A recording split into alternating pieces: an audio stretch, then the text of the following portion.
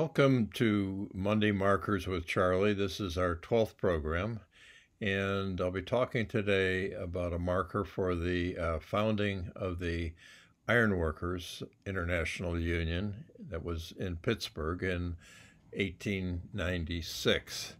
Um, the amalgamated, well, the Amalgamated Association of Iron and Steel uh, Workers had suffered a terrible defeat at Homestead in 1892.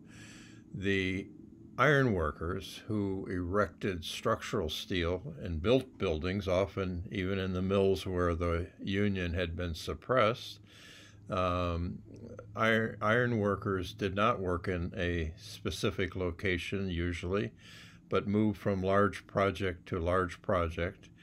And it was their ability to work with large structural um, shapes and uh, various fabricated uh, ironwork and put them together to be able to read blueprints, put those beams and uh, shapes uh, together uh, by bolting, riveting, and welding. Uh, they had a very unique skill, had a lot of danger involved in its execution.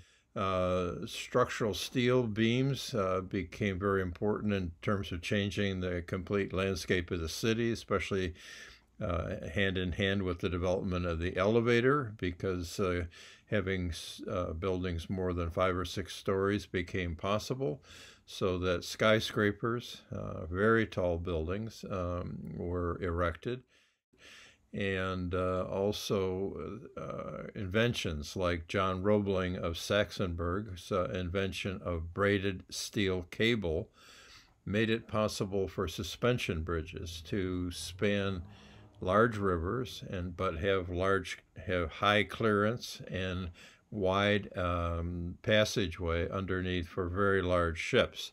Um, Roebling suspension bridges were pioneered uh, on the Allegheny and Monongahela, uh, and then were built in Cincinnati and other places, but most famously, the Great Brooklyn Bridge that united uh, Brooklyn to Manhattan was built by Roebling.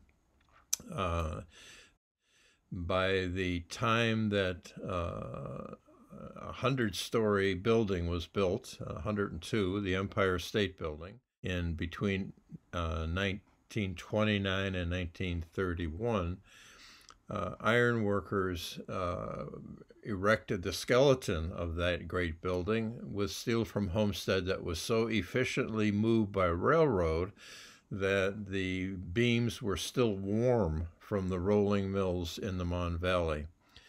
Uh, this Empire State remained the tallest building in the world until it was replaced by the World Trade Center towers uh, also constructed by ironworkers of, with Homestead Steel in 1970. In 1903, Pittsburgh witnessed its worst construction accident when a high railroad bridge was being built by the Wabash Railroad connecting a tunnel through Mount Washington to a downtown railroad station of the Wabash near the location present in present days of the United Steelworkers. At the as the central span was being extended over the Monongahela, it collapsed and it, onto passing coal barges, and it killed 10 iron workers and injured many more. A passerby described the scene. They fell through the air like flies, the men shrieking and yelling as they fell. The entire mass fell with a sickening thud on the barges beneath. One of the barges sunk immediately. Few of the men on the barges saw the mass that was falling on them. Hundreds of ironworkers rushed from all over Pittsburgh to aid in the rescue. The Wabash Bridge supports can still be seen on both sides of the Monongahela. In the following year, 1904, the ironworkers held their convention in Toronto, Canada. They were an international union, and they declared and made safety the central concern of their union. Uh, iron workers, just like coal miners, uh, work in a difficult, dangerous trade. uh, that demands a great deal of mutual trust and workplace solidarity. Uh, I remember filming uh, for the video Building Pittsburgh, which can be gotten on YouTube. Just Google Building Pittsburgh video and you'll get it. An interview with Red Collins, who was a tough but very kindly gentleman who was instrumental in the development of the union's uh, apprentice training uh, program and facility in the Strip District, which is now named for him. He emphasized uh, the key lesson of his understanding of the trade is that you never get through learning this trade. You are learning every day of your life. Ironworkers tend to be feisty and colorful bunch. Union elections are often fiercely contested.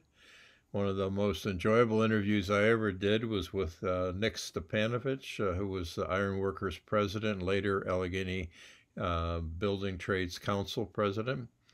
Uh, he was a huge, tough man with monster hands. Uh, and he did a great deal, organized an awful lot of volunteer work for churches, for the handicapped in particular. And he was a, an important figure for the Vietnam Veterans Memorial. He became, he said, a sort of a godfather for the black workers who had fought their way into the trades. He admired their willingness to fight like he had as a Serb uh, after World War II, coming into a union of primarily Irish and Germans. He said about the black ironworkers, they never quit. Minorities never had a shot in this world, no different than when the ethnic people came to this country.